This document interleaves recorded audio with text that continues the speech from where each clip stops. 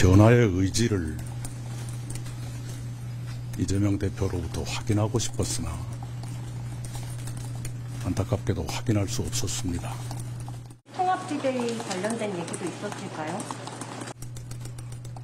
네, 그걸 거부했습니다. 단합을 이뤄내고 그 힘으로 우리 국민들의 이 절망적인 상황을 이겨내야 되겠다는 말씀 드리고 싶습니다. 우리 총리님 다시 한번 깊이 제고해 주시기를 부탁드립니다. 우리는 상식적인 많은 국민들을 대신해서 이재명 대표의 민주당과 그 뒤에 숨어서 국민 위에 군림하려는 운동권 특권 세력과 싸울 겁니다. 호남에서, 영남에서, 충청에서, 강원에서, 제주에서, 경기에서, 서울에서 싸울 겁니다. 그리고 용기와 헌신으로 어, 반드시 이길 겁니다. 공포는 반응이고 용기는 결심입니다. 당연직 제외하고 나머지 8분 중에서는 우리 김혜지 의원 빼고 나머지 7분들이 정치권에 그동안 활동하지 않았던 분들이라는 특징 외에는 네, 정치권 현안 짚어보겠습니다. 윤희석 국민의힘 선임 대변인, 김현전 전 더불어민주당 대변인 나오셨습니다. 두 분 어서 오십시오. 네. 김현정 전 대변인, 어제 이재명 어, 민주당 대표, 이낙연 전 대표 전격 회동을 했습니다. 5개월 만에 이루어진 만남이었지만 양측의 의견은 좁히지 못한 것으로 보여집니다. 사실 좀 예견이 됐었죠. 왜냐하면 대표를 사퇴하고 통합 비대위를 꾸리자라는 요구에서 한치도 더 양보를 하지 않았기 때문에 네. 본인 보고 사퇴하라는데 어떤 거기에서 뭐 합의점이 도출될 가능성이 사실 없, 없는 만남이었다. 그래서 신당 창당을 위한 명분 쌓기용 아니었냐 이렇게 좀 해석이 되고요. 아마 오래전부터 이낙연 전 대표께서는 신당을 창당하겠다는 마음을 굳힌 거 아니냐라는 해석, 좀 생각이 좀 들어요. 왜냐하면 네. 최성 전 그 고양시장이라든지 또 이석현 전 의장 저기 부의장 국회 부의장께서도 신, 탈당을 먼저 선언하고 이, 저 이낙연 전 신당에 합류하겠다 이렇게 발표까지 했지 않습니까? 그리고 이제 그 이낙연 전 대표께서 주로 주장하는 것이 이재명 대표에 대해서 사법 리스크를 많이 얘기하잖아요. 근데 뭐 사실 사법 리스크는 여당에서 만든 프레임이기도 하고 또 최측근인 그 분이 그 대장동 사건을 제보, 언론에 제보해서 시작된 그런 측면도 있는 거 아닙니까? 그래서 본인도 그거에서 자유롭지 못한 그런 상황도 있고 그래서 지금 현재 민주당은 통합을 통해서 그리고 당 혁신을 통해서 총선 승리로 나아갈 때이지 괜히 당의 사태가 당은 대표를 사퇴하고 비대위 체제로 가야 될 하등의 이유가 없는 그런 상황인데 그런 요구를 해서 이것이 결렬될 수밖에 없는 상황이었다 이렇게 생각합니다. 윤희석 대변인, 이낙연 전 대표는 회동이 끝나자마자 제 갈 길을 가겠다고 했습니다. 어, 신당 행보에 속도가 붙을 것으로 보이는데 그렇다면 방금 전 말씀하셨듯이 어제 만남은 애초부터 헤어질 결심을 하고 명분 쌓기용으로 만난 걸까요? 저는 그렇게 봅니다. 이미 이낙연 어, 전 대표는 어, 신당 창당을 아주 오래전에 결심한 것으로 보여요. 네. 어제 결렬됐다고 해서 음, 어제까지는 결과 보고 하겠다 뭐 이런 게 아니지 않습니까? 이미 상당 부분 결정을 해놓고 어제 어, 최종적으로 한번 보자 뭐 이 정도 의미밖에 없고 어, 이재명 대표 입장에서도 어, 어제 만나서 이낙연 대표를 아마 품에 안을 수 있다고는 생각 못했을 겁니다. 안 네. 했을 거고요. 별로 만나고 싶지 않은 상황이었음에도 불구하고 두 총리분들의 어, 여러 뭐 강권에 가까운 권위에 따라서 두 분이 어쩔 수 없이 만난 거 아닌가 뭐 이 정도로 생각합니다. 김현정 대변인, 네. 이낙연 전 대표는 새해 첫날 행주산성에서 신년 인사회를 준비 중이라고 하는데 신당에 대한 구체적인 메시지가 나올까요? 일단 그 저 어제 그 만남 이후에 기자의 질문에서 뭐 그냥 그거는 단순한 신년 행, 저 행사일 뿐이다라고 얘기는 하셨는데 네. 그 들어오기 전에 좀 전에 보니까 행주산성에서 하는 신년 인사회가 날씨 때문에 아마 또 취소된 거로 제가 얼핏 들었거든요. 네. 그래서 뭐 다른 장소에서 할지 모르겠지만 어쨌든 지금 어, 3일 정도의 신단 창당 의사를 밝힐 것이다 이런 언론 보도들이 있, 있는 것으로 봐서는 조만간 뭐 원래 원칙과 상식에서도 1월 첫째 주까지 지금 12월 말에서 1월 첫째 주까지 이낙 저 이재명 대표에 대한 답변을 지금 보류하고 있는 상태잖아요. 그래서 다음 주 정도에 그 신당 창당에 대한 그 의사 표현을 하지 않을까 이렇게 예상해 봅니다. 최근에 그 전직 두 총리가 움직였잖아요. 정세균, 김부겸 전 총리가 만나서 어떤 새로운 돌파구를 찾기 위한 노력을 기울였는데 정세균 전 총리는 현의 살수 필요할 때 결단이 필요하다 이런 얘기도 했거든요. 이재명 대표의 결단을 촉구한 것 아니냐 이런 해석이 있었는데 결과적으로는 별 성과가 없게 된 거죠. 그렇죠. 현의 살수 어, 낭떠러지에서 잡았던 손을 놔라. 어, 그만큼의 결기 있는 행동을 보여달라. 그 얘기는 대표직 사퇴까지 고려해 달라고 뭐 얘기 아니겠습니까? 그래서 통합 비대위를 만들어서 민주당이 한 울타리에서 민주당 세력들로 어, 단일 대우를 이루어서 총선에 임하자 뭐 이거였는데 이재명 대표 입장에서 지금 어, 당 대표 그만두기가 굉장히 어렵죠. 애초에 당 대표직을 선택한 이유 중에 하나는 본인이 갖고 있는 사법 리스크 이런 등등의 여러 문제가 있었기 때문에 어, 그것에 대한 하나의 방비책도 있을 수 있었기 때문에 지금 당 대표를 놓으면 공천 과정에서도 본인의 영향력이 축소되고 뭐 이런 여러 가지 일들이 있을 겁니다. 네. 그것은 어, 이재명 대표 입장에서 받아들이기 어려운 상황이었고 그것이 결국 어제 이낙연 대표와의 만남이 아무 성과 없이 끝날 수밖에 없었던 가장 큰 원인이라고 봐야 되겠습니다. 네. 민주당 지도부는 뭐 당연히 당 대표 사퇴를 전제로 한 만남은 그거는 있을 수 없다 이런 입장을 계속 냈잖아요. 네. 한동훈 비대위 국민의힘 이제 본격 출범을 시켰습니다. 결국 혁신 경쟁이 예상되는데 이재명 민주당 대표가 일으킬 새로운 혁신안은 어떤 게 있을까요? 일단은 당 공관위원장이 선임됐잖아요. 그래서 네. 공관위가 이제 꾸려지고 있는 과정인데 공정한 공천 관리가 대단히 중요할 것 같습니다. 우리 저희 당은 아시겠지만 시스템 공천이 갖춰져 있기 때문에 이것이 이제 공천 잡음으로 뭐 공천 파행으로 이렇게 이어지지 않도록 잘 관리하는 것이 중요한 것 같고 지금 계속해서 이어지고 있는 인재 영입 관련해서도 좋은 인재들을 찾아내는 것도 좀 필요해 보이고요. 그리고 이제 총선 기획단에서 여러 가지 이제 저당 혁신과 관련된 그런 것들을 지금 마무리하는 그런 단계에 있는데 그런 네. 것들이 만들어지면 제대로 잘 당 혁신과 이어질 수 있도록 하는 것들이 필요해 보이고요.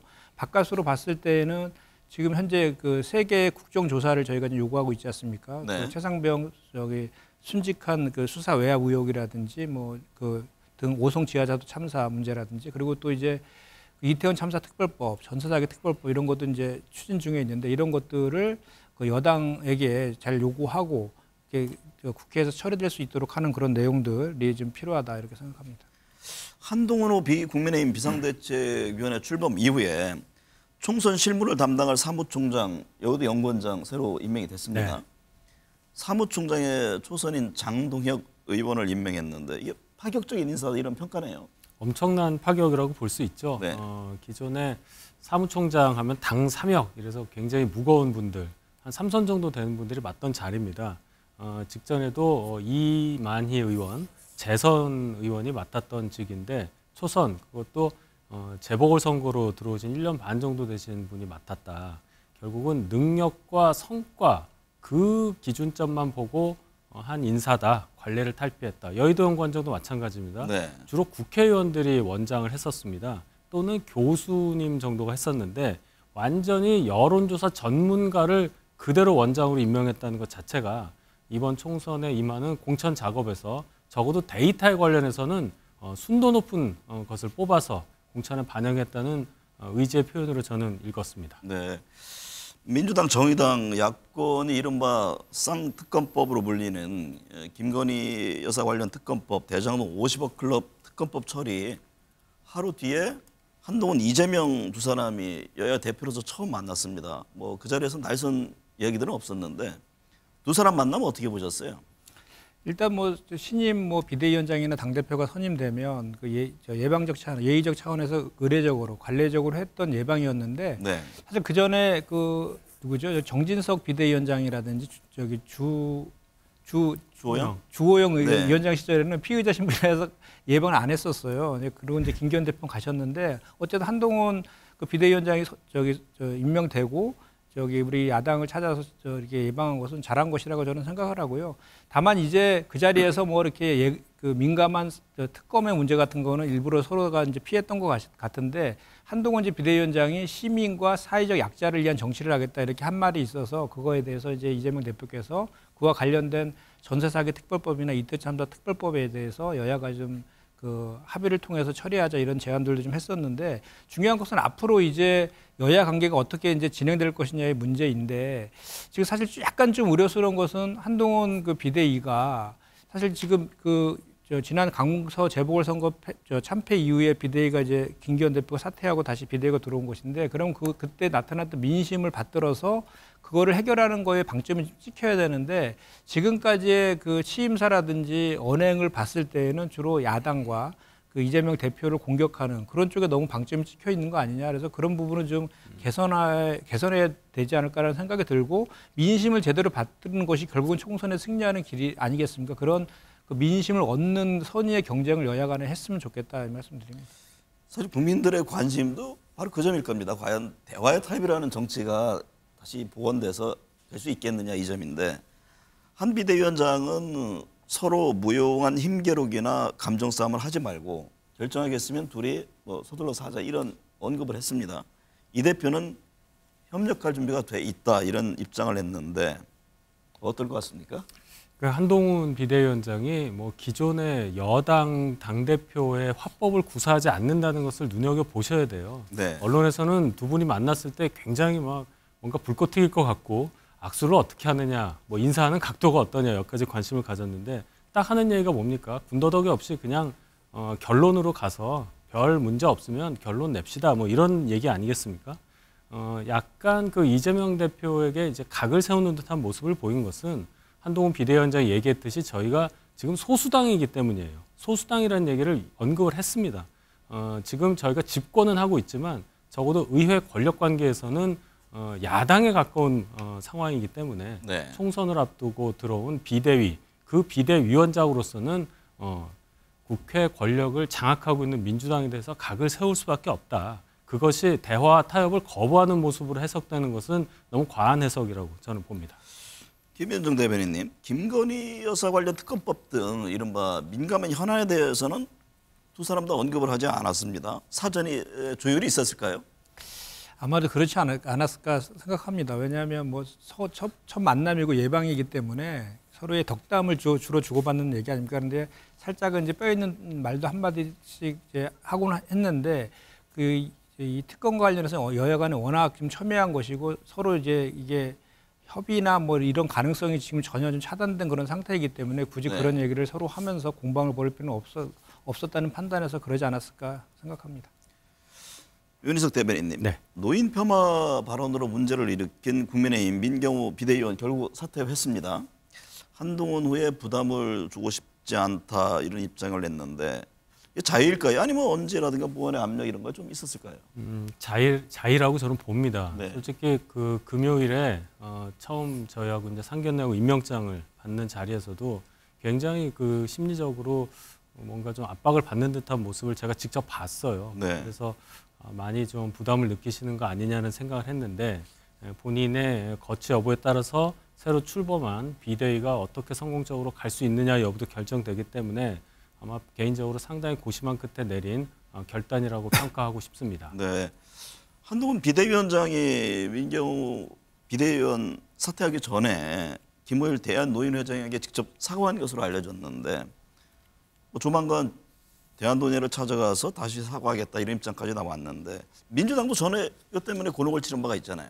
그렇죠. 저희도 김은경 혁신위원장이 노인 비하성 발언 때문에 대단히 곤욕을 치렀는데 좀 아쉬운 건 있죠. 왜냐하면 저 한동훈 비대위원장이 사실 법무부 장관 시절에 인사검증에 대해서 제대로 못했다는 비판의 지점이 꽤 있었잖아요. 그리고 이번 비대위가 저 출범할 때 그 뭐 윤석열 대통령의 아바타다, 뭐 이인자다 이런 한계들을 극복해야 된다. 그래서 그렇기 때문에 비대위원의 선임이 대단히 중요하다라고 했지 않습니까? 근데 네. 비대위원들의 면면을 보면은 주로 이제 민주당 야당에 대해서 강하게 공격했던 인사라든지 또는 그 구구 유튜버 등의 그 출연해 가지고 뭐 역사적인 문제라든지 또는 뭐 노인이나 또는 여성이나 이런 관련해서 좀 막말을 했던 그런 인사들이 지금 저 포함돼 있잖아요. 그래서 박은식 비대위원도 그것 때문에 결국은 사퇴를 하게 아니 박은식이 아니라 민경우 비대위원도 그것 때문에 사퇴를 하게 되었는데 네. 박은식 비대위원도 지금 여성 혐오 발언, 그 출, 결혼과 출산의 결정권자는 남자다 이런 발언도 지금 해가지고 무리를 일으키고 있고 또 이승만 대통령이 탄핵 대상이었다가 다시는 자기는 현재 박은식은 이승만 대통령은 복권시켜야 된다. 또 이런 또 역사적인 저 말을 또 막말을 좀 해놓은 그런 측면이 있어서 이, 이 박은식 의원에 대해서도 좀 조기에 그 비대위 원장께서 좀 정리를 할 필요가 있지 않을까 이렇게 생각합니다. 윤희석 대변인 그 한동훈 비대위원장이 어제 보니까 하루 일정은 없었습니다. 그렇지만 뭐 공관위 구성이라든가 여러 현안으로 분주했을 텐데 지금 어떤 점을 가장 고민할까요? 일단 공관위원장 특히 공관위가 출범해야 할 시한이 저희는 정해져 있습니다. 1월 11일까지 네, 11일이죠. 해야 되기 네. 때문에 어, 그럼 한 열흘 정도 남았죠. 어, 그 사이에 공관위원장, 거기에 공관위원 어, 다 이것을 선정하려면 굉장히 큰 작업이 됩니다. 성격 여부 그리고 어떤 분을 위원장을 하냐가 제일 중요할 텐데 어, 그 부분에 있어서 당내에서 그동안 이뇨한 혁신이 등 어, 출범 이후에 계속 회자되어 왔던 22대 총선 공천 방향, 즉 희생과 헌신 이것이 국민들께 어, 굉장히 좋은 반응을 얻었다고 저희는 봅니다. 네. 어, 이것을 계속 관철할 수 있는 공관위, 공관위원장 선임 어, 이것이 돼야 한다. 근데 과연 어떤 분으로 내세워야 어, 그 저희가 얘기한 공천 방향이 국민들로부터 확신을 얻게 되는 어, 그런 계기가 될 수 있느냐 하는 점에 어, 한동훈 위원장의 고심도 지금 깊은 상황이다 이렇게 봐야 되겠습니다. 공관위원장에 대해서 기존에 거론됐던 정치인이 아닌 비정치인 쪽에서 될 가능성이 높다 이런 전망들이잖아요. 혹시 뭐 듣는 내용이 있습니까? 저뭐 제가 들은 거는 없고요. 네. 그런 방향이 될 가능성이 좀 높아지는 걸로 보입니다. 이번에 네. 사무총장 또 여의도원권장 인선을 보면 한동훈 비대위원장의 색깔과 굉장히 유사한 방향으로 가지 않습니까? 기존 정치권하고 그다지 큰 인연이 없으면서도 어, 제대로 민심을 긁어줄 수 있는 그러한 어떤 메시지를 줘야 한다. 어, 그렇기 때문에 공관위원장 인선도 그런 방향으로도 가능하지 않을까 하는 예상을 조심스럽게 해보겠습니다. 김현정 대변인님, 민주당은 이명백 고려대 명예교수를 공천관리위원장으로 임명했습니다. 진보 정치학자로 개파색이였다 이런 평가가 나오지만 비명계는 이재명 대표를 지지했던 인물이다 이렇게 반발을 합니다. 이명백 공관위원장 인선에 대한 대체적인 내 외부 평가는 어떻습니까? 그렇지 그런 그 평가보다는 오히려 지금 그 공정한 그 공천을 위해서 그 외부 인사로 했다라는 의지의 표명을 했다라고 해석 저기 생각하는 그 의견들이 훨씬 더 많고요. 네. 이분 같은 경우는 사실 노무현 정부 때 주로 활동했던 분이시고 말씀하신 것처럼 정당 민주주의에 되게 조예가 깊은 진보 학자입니다. 그래서 이재명 대표와의 연관성은 사실은 대선 때 그냥 그 정책 제안하는 교수 그룹 중에 한 분이었지 네. 그 구체적으로 이재명 대표의 인연이나 이런 것들도 없는 분이거든요. 그래서 지금 현재 우리 공관위 구성 관련해서는 가급적이면 원내 의원들은 거의 최소화시키는 거로 하고 원외 네. 인사들로 이렇게 꾸리겠다라는 방침이 정해진 것 같아요. 그래서 그런 차원에서의 선임이었던 거라고 저는 생각합니다. 여야 뭐 사실 공천 문제가 제일 중요하죠. 지금 모든 어떤 분란의 근원적인 요소도 공천 문제인데 은 대변인 비대위 공식 출범시키면서 내부 정비를 마치 한동훈 비대위원장 다음 주부터 지역 행보 본격화한다고 그러네요. 그 연초에 대구 오는 4일에는 광주 민주묘지를 참배한다고 하는데 어떤 메시지를 던질까요? 어, 일단 이제 광주에 집중해서 좀 말씀을 드리면 한동훈 비대위원장이 어, 저희 당에서 계속 쭉 해왔었던 뭐 소위 서진 정책이란 말도 하는데 네. 어, 광주 특히 이제 호남 분들에 대한 저희의 어떤 자세 변화 여기에 대한 메시지를 계속 이어서 하는 거라고 봐야 되겠죠. 그리고 또 특별히 봐야 될 것은 한동훈 위원장 73년생입니다. 저희가 비극적으로 생각하는 가- 광주 민주화운동 일어났던 해가 80년이고 그렇다면 초등학교 1학년 때예요. 네. 그렇다면은 지금까지 저희 당의 당 대표들이 사죄의 의미 또 뭔가 변하겠다는 의미로 가서 호남민들께 접근했던 거 거기에 더해서 어, 아주 어릴 때 그것을 겪었기 때문에 어떤 책임 여부하고는 좀 자유로운 한동훈 비대위원장이 전혀 새로운 시각으로 또 호남민들께 다가갈 수 있는 그러한 자격이 있지 않겠습니까? 그렇다면 어, 호남에 계시는 분들께서도 한동훈 비대위원장의 메시지가 과거의 사죄에 그치는 그런 메시지에 더해서 새롭게 어, 호남에 대해서 어, 보수당인 저희 당이 어떻게 접근하려고 하는가 그것을 평가할 수 있는 계기도 될 수 있기 때문에 네. 상당히 의미 있는 광주 방문이 되리라 이렇게 봅니다. 기존보다는 진일보한 입장을 낼 것이다 이런 예. 충분히 가능하고 그것에 대한 진정성이 충분히 받아들여질 수 있는 그런 상황이 아닐까 이렇게 봅니다. 국회 문턱을 넘자마자 대통령실에서 거부권 행사 방침을 밝히면서 김건희 여사 관련 특검법 둘러싼 여야 신경전이 날카로워지고 있는데요. 김 대변인 민주당에서는 권한쟁의 심판 얘기까지 나왔더라고요. 네. 과거에 그 저기 최순실 국정농단 때 보면 박근혜 전 대통령하고 최순실 간의 경제 공동체라는 논리를 가지고 당시에 윤석열 그 저기랑 한동훈 저기 두 분이 검사 시절에 수사하고 기소까지 하고 실제로 그 실형까지 나온 그런 상황 아니겠습니까? 같은 논리로 같은 논리로 갖다 접근해 보면 지금 김건희 여사랑 대- 윤석열 대통령 부부지간이기 때문에 경제 공동체로 볼 수 있거든요. 그런데 그런 그 자기 부인과 관련된 거에 대해서 거부권 행사하는 게 맞느냐에 대한 그런 그, 저 해석들이 있는 것 같아요. 그래서 홍익표 원내대표가 이에 대해서 적극적으로 검토하겠다 이렇게 한 상황입니다. 네.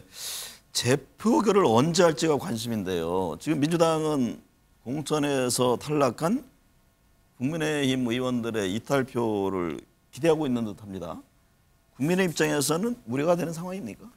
글쎄요, 그 우려라는 뭐 그런 계산을 할 수도 있어요. 네. 그런데 저는 우리나라 국회의원들의 수준을 그렇게 낮게 보고 싶지 않습니다.